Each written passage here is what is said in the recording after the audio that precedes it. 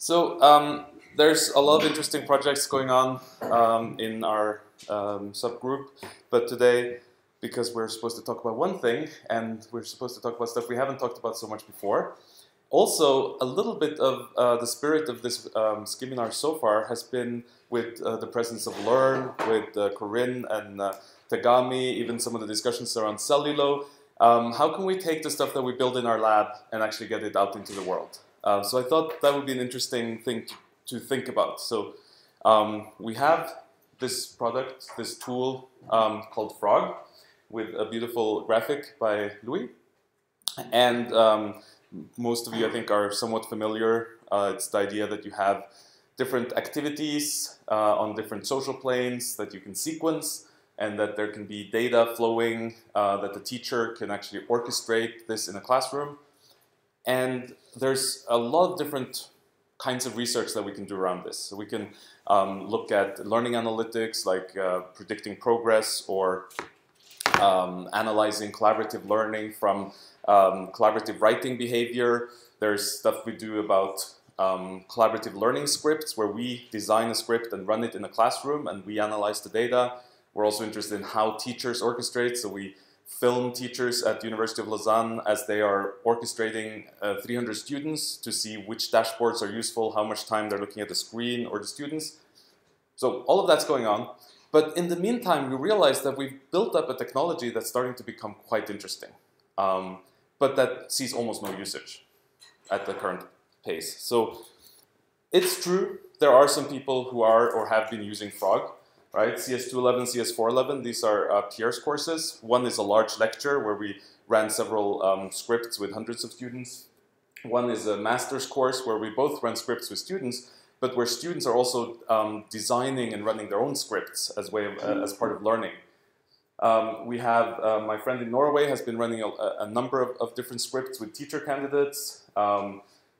There's uh, an online master course in uh, University of Minnesota that's been using Frog for every single class through the whole semester.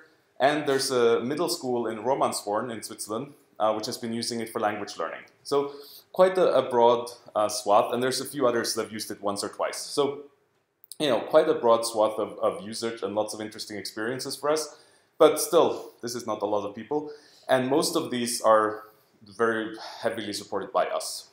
Um, so we want to continue doing all kinds of research around Frog, but uh, my question today is, are we at a stage where we can begin to think about making a subset of this functionality much more widely um, available? This could have two benefits. The first one could be that eventually we might want to think about a sustainability strategy for Frog, um, po possibly parallel to the research continuing, but having some kind of entity um, would be interesting. Um, the other thing is that certain kinds of research are only possible if we have a large amount of users.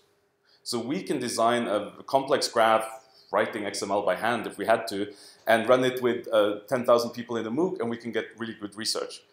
But if we want to look at teacher orchestration, and we want 30 different teachers to do something in their classroom, we need something that is more widely used and is more usable. So what are the current barriers? Well, here's an example of a script that we ran in Pierre's class. Okay, we did a survey. We asked students what was difficult to learn. Um, we showed it on the on the on the projector. Pierre did some slides. We put them in groups. We had them find a solution to each learning challenge, and we did a debrief. So when I present it to you like this, it's not a super complicated thing. I think everyone can kind of understand what's going on.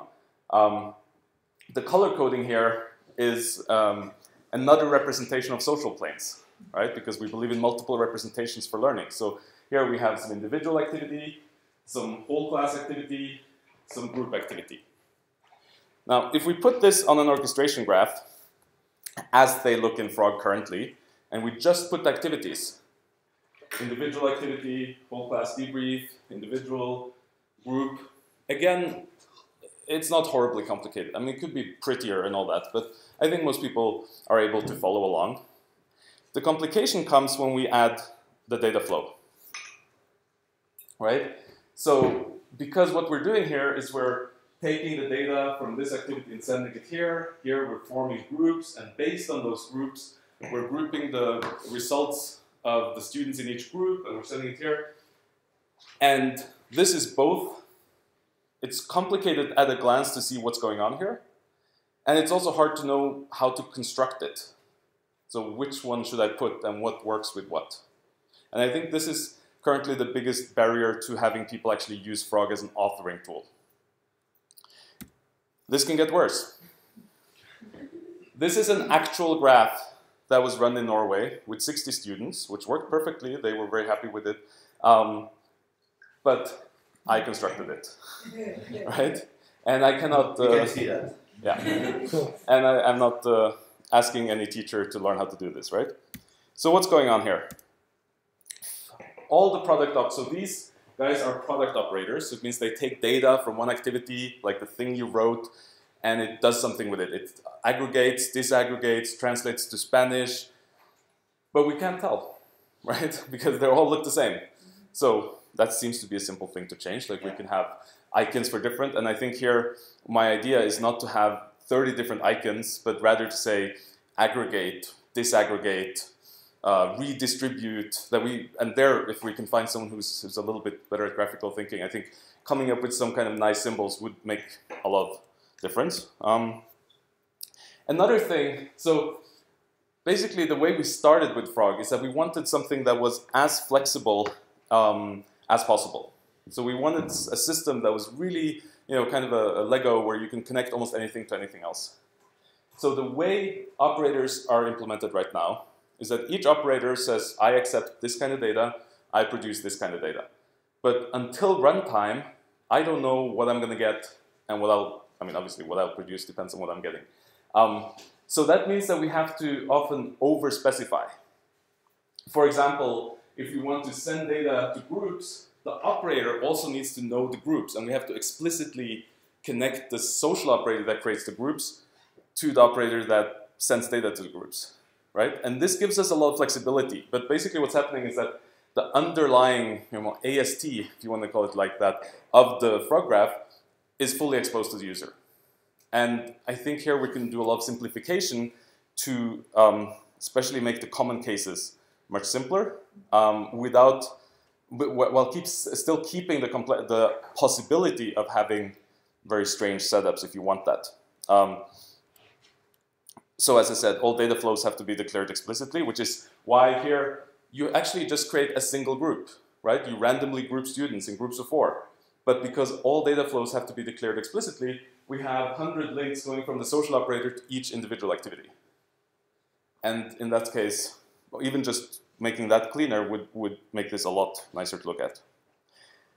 Another thing, this is um, a, a more of a, a, design decision that we took early on that is made some things a lot simpler, but is holding us back a bit. Currently, all operators current, can fire only once. So an operator is basically just a function, data in, data out. And right now, it gets all of the data from the, all the students that finish the activities. It does whatever it needs to do, and it produces some output. And that is nice because it means for the person who writes the operator, they don't really have to worry about, you know, they can do clustering, they can do all kinds of things. But um, here we have a problem. Because what if this activity already has started. So also the uh, operators fire when they're needed. So it means when, it, when the teacher opens this activity, it will see, are there any incoming data? Yes, from this operator. Okay, I need to make sure that operator has been fired. Now, what if you come late to class? Well, the operator's already run, so you can't join the group. So you cannot actually join the graph right now, which is um, a big, obviously practical disadvantage, right? So something we need to fix. Um, another problem here is that, again, is this a valid graph? Is this going to crash? Are all these operators getting the data that they need? Now, we do have um, some type checking built in. So if you look at the top there, in this case, this is an invalid graph. It's giving me two error messages. It's saying you put in an operator, but you didn't even tell me what kind of operator, so I don't know what to do about that. And you put in a group activity, but you didn't tell me which group, right? So it does check some things, but the really important thing is that it does not check the validity of the data flow. Um, so if you take um, a quiz and you send all the data into a YouTube player, it's not going to know what to do about those data. And worst case, it might crash. Best case, it might just ignore it, right? Now, this is a non-trivial problem um, for because it's not just two activities linked. It could be a whole range. But we have good ideas about how to solve this, and this is very important. So the goals are, on the one hand, it should be much easier to construct a valid graph, to discover what are the possibilities, how can I connect things. On the other hand, it should be impossible to well, it should be possible to construct an invalid graph, but it should be impossible to run it, right? The, the type checker there, if it's red now, you won't be able to create a session. So, you know, you can design all you want, but if it's green, you should know that it will never crash in production, that all the data flows will be valid. So this is key if we're ever going to have other people use this system. Now, the introduction of learning items, which you've kind of heard about a little bit here and there, basically an abstraction of student content that means that we can have the same kind of content in many different kinds of activities is actually a major improvement here because it means that many more activity types are compatible by default. Um, and it also means that we can redesign the operators um, in a more intelligent way. I'm not going to go into the details, but that's, um, and also to have the operators be more flexible about when they're firing or firing multiple times. So um, I have some other ideas about redesigning the graphs. Here I'm just in my beautiful design fashion showcasing a few ideas. So the first one is, um, what if we have a line uh, and we said this is pre-class. Any activity, any operator that you put here will fire immediately as you initialize the session. Okay? The advantage of that would be that if you have already a class list and you create groups, you can now click on this operator and you see the groups that have been generated and you might want to change them because you say, well, Peter doesn't like to work with AND, so I'm going to uh, move them, right? Or we have some operators that get data from the internet. So this might be an operator that gets blog posts about Iraq because you want to discuss Iraq. And now, A, you want to make sure that it triggers because maybe it's using an API of a service that's down, and that's really embarrassing if that happens during class. I mean, that's nothing, not something we can control. Secondly, you can click on that, you can see all the items, and you might want to remove some of them because they're not appropriate, right? So I think this is one thing that could give the teachers a bit more uh, comfort with actually going into the class and knowing that the data is there, the students are in the right groups, it's all set up correctly. Another thing is, my, my, right now, we can link directly between two activities. It's actually not something we planned for, but because of the way we did the code, it just kind of works. But it doesn't work in a very intelligent fashion. Um, what I want to change it to is that if you link between two activities, it is a bit more intelligent. So for example, 99% of the case time, if you link from an individual to group activity, you want each group to get the products of its members. So right now, that would re require a product operator, a social operator, and linking it all in three, four different ways. What would happen in this case is that you link it, it automatically creates a link with a tiny little operator that has a little icon. In this case, it would say aggregate. But you can click on it, and then on the side panel, you could say, no, actually, I want to send everyone's data to the groups, or you know something else. So because this direct link knows the input and the output, it can be a bit more intelligent. For example, if you make a table here, a spreadsheet, the default would be that you here get a gallery with a bunch of spreadsheets. But in this case, we have a special operator that takes a bunch of spreadsheets and combines them into one. So let's say you have word, word, word, word, definition, and then you put all them together, it would be word, word, word, word, group one, uh, Peter, John, Niels, Anna, and then you can see all the definitions. That's a really neat thing. And because it would know that you're connecting two spreadsheet activities, it could say, hey, would you want to use that operator? Right? So it, it helps with this kind of exploring and type checking. Um, now, the nice thing about having people using Frog in real situations is that we have a few very brave souls that are actually um, independently working with Frog, more or less, with some support from me. And they're putting into all kinds of different use cases. So this is a graph, again, that was actually run very successfully um, for a class of about four hours. And a lot of it was in, you know, in the, it was just like a kind of a, almost a workshop. So they spent a lot of time writing. They spent in groups to giving each other feedback. This was, you know, a very long, long process. And the whole graph is complex. It's, it's very long. And so um, my friend was saying, hey, you know, in my head, I kind of have, you know, this is the first phase, then there's a second phase, it's a third phase. Can I just like say this is going to be green and this is going to be blue and I'm going to call it phase one or something? I'm like, maybe. That's like there are interesting ideas like that that we can explore. Maybe you need a little uh, table of contents to kind of skip around. I mean, there could be interesting ways of dealing with that. Um, even even simple things like right now you cannot actually. So here he has a little peer review cycle, and then he said, you know, I probably won't do this, but if I have time, maybe I'll let them do that one more time. So I'll just put that in the graph once more time.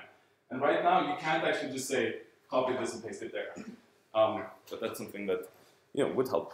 So now, you take this super long graph, and now let's say that you were actually successful constructing it somehow, and you believe that it's correct.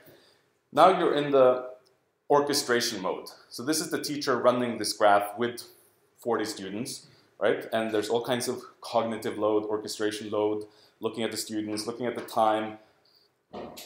And again, my friend is saying, I kind of you know forgot where I was and what was what was the next activity and where am I now? And you know he he was um, feeling a bit stressed out.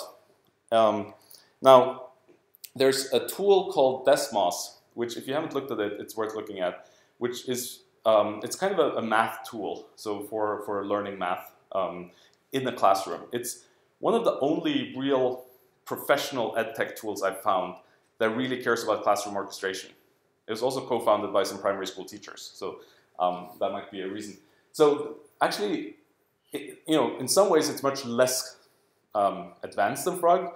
On the other hand, they actually have real designers and teachers and stuff, and they've there's a lot of really cool stuff about their design. So, you know, we've talked about having a graph library in Frog, and we do have it, although it's very, very simplistic in design. But here you go and say, well, they made a, a, a, graph about military budgets that wants students to look at visualizations of military budgets and discuss it and analyze it in different ways. And this is something they tweeted out and they got tons of retweets and like everyone's super excited about using it in their class, which is nice. And so I go in here and first of all, you know, there's a nice little write-up. There's a link to a New York Times article where they got the data. And then there's a, a teacher guide. And when I click on the teacher guide, it's actually a PDF that the teacher can print out with each step and some notes and a, and a screenshot of what the students will see at each step and some teacher instructions.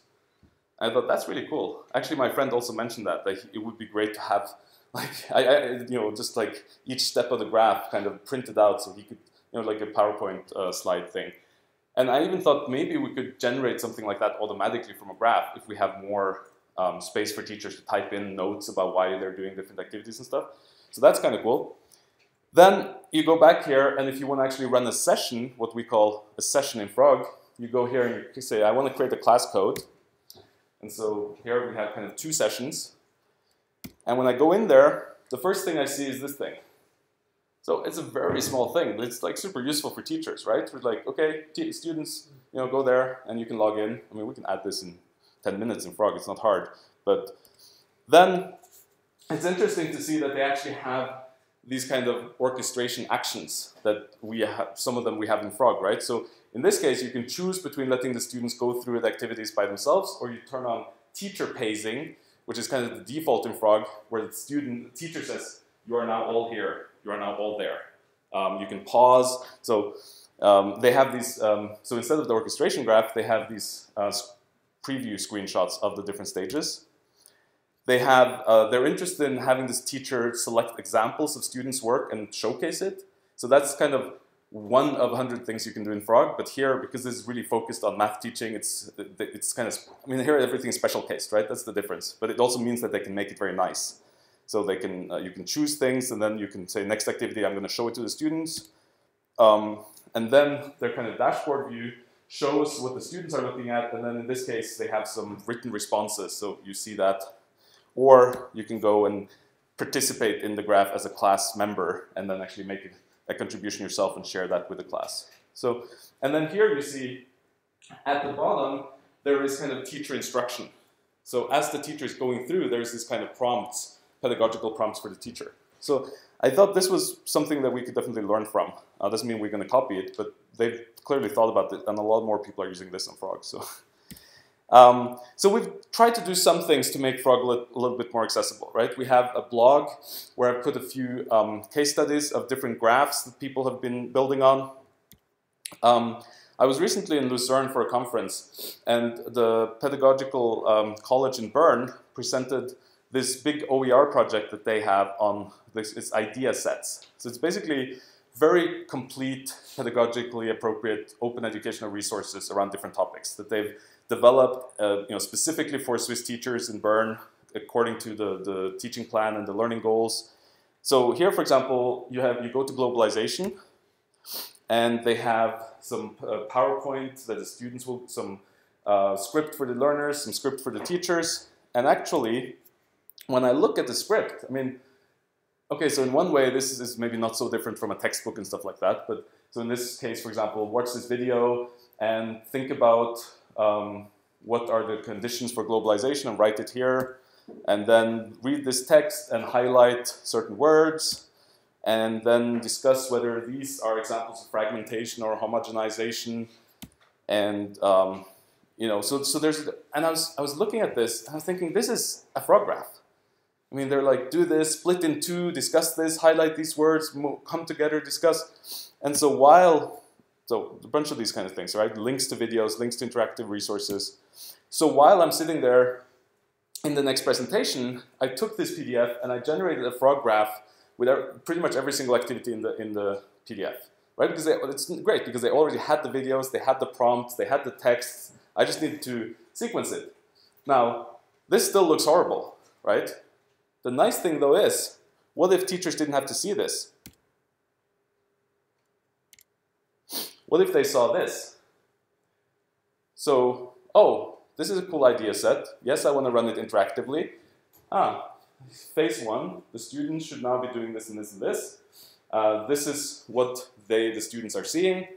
This is what the next activity is, so you know what you're going to go into. And by the way, you can click here to go to the advanced view. You don't have to. But if you want to dig into it, you know, the frog graph editor is always there. So the, the people in Bern are actually quite interested, and I think the nice thing is these are people who are very actively in schools. This is resources that already are being used by a lot of classes, so that could be a nice way of actually getting into classes. The final thing I want to touch upon, which will lead me a bit to the same place. Um, I so of course there's a lot of teachers who don't want to use any technology. And okay, we're not going to start with those, right? But there are also a lot of teachers out there who are innovating, who are trying out new stuff, who are reading blogs or Twitter and, oh, what's the new thing that I want to try in my classroom? And I keep seeing these kind of blog posts about, you know, 67 edtech tools, 180 great tools for your classroom, right? So things like SurveyMonkey, Wordle, Quizlet, Etherpad, all these kind of tools, right? Um, and I'm thinking, so for example, Etherpad, most of you probably have seen, it's kind of like Google Docs, it's open source. So it's very, the nice thing about Etherpad is it's extremely low friction. All right, you go to any Etherpad installation um, because it's open source, and you just type in the name of the pad, or you just even type in the address, and you just get a pad for free. So a, lot of teachers love this because it's so easy to get going with. And I'm thinking, a lot of the tools in individual activity types in Frog are actually already better than many of these freestanding tools, or they could easily become so with a little bit of design love, right? So for example, very simple activity, we call it brainstorm. It's basically a list where you can vote up or down, but you can configure it in all kinds of ways. You can have them vote up or down images or text or spreadsheets or, you know, it's collaborative. But nobody is going to go and use this because it's hidden in the complexity of Frog. So the thing is, we already have an API for exposing individual activities. So if you type in this, no, don't try to copy it, uh, in your browser right now, you will get, with no login, with no orchestration graph, that specific voting list um, exactly configured like you just saw. So we didn't make this because we thought this was a fun thing to type in, but because Denis Gillet uh, has a tool called Graasp, which is actually used in a number of schools, which has been developed over many years. And they didn't have any synchronous activities, any activities that support synchronous collaboration. So with um, one of his, uh, his uh, programmers, we kind of prototyped this API to access individual Frog activities. So here, if you go into, and you see, this looks totally different than frog. There's no concept of orchestration graphs. But if you go into the, what they call an inquiry space, and you say, I want to add a new activity, you can now add a frog app. And if you go there, you see a list of all the frog apps. They call them apps. We call them activity types. And you can select one, you can configure it. And so here you have an inquiry space with four different frog activities. And if we look in uh, open two students, um, it's even totally different because they have kind of like a document model. But here you have the rich text editor, right? Um, here you have uh, the live, uh, live synchronized quiz. Here you have the, the um, CK board, we call it, with, where you can add ideas and drag them around.